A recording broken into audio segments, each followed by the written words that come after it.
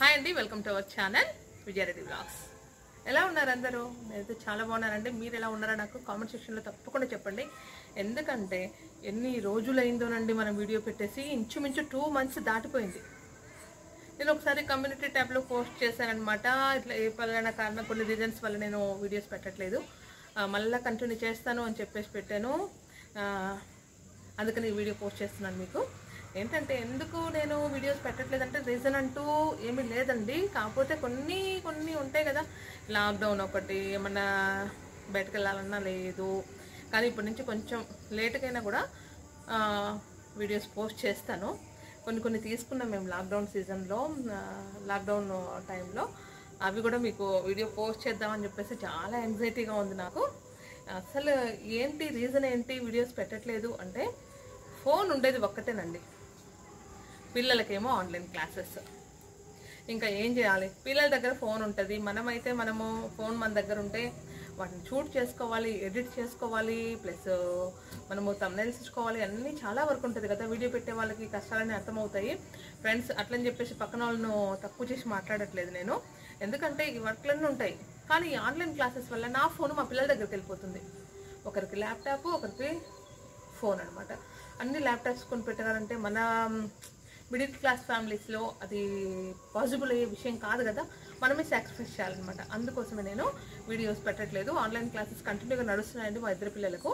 అందుకని చెప్పేసి నాకు ఇంకా మిగతా కొంచెం టైం దొరికిందంటే నేను రెస్ట్ తీసుకోవాలి. మార్నింగ్ అంతా వర్క్ ఉంటుంది. ఆ పనుల వల్ల నేను వీడియోస్ పెట్టలేకపోతున్నాను.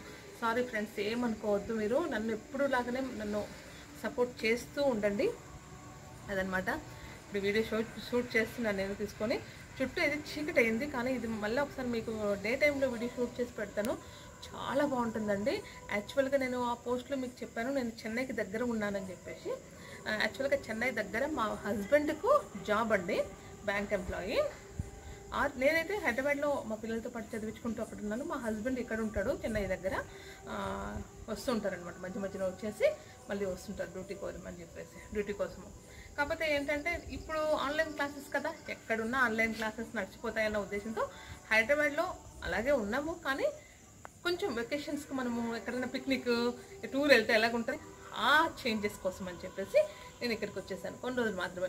ఆ కొన్ని రోజులు అయిన తర్వాత నేను మళ్ళీ మా పిల్లలకి స్కూల్ స్టార్ట్ అయిన తర్వాత మళ్ళీ గో హైదరాబాద్. అక్కడ మళ్ళీ routine life routine videos routine home. ఇక్కడైతే చిన్న హోమ్ అండి హౌస్ అండి.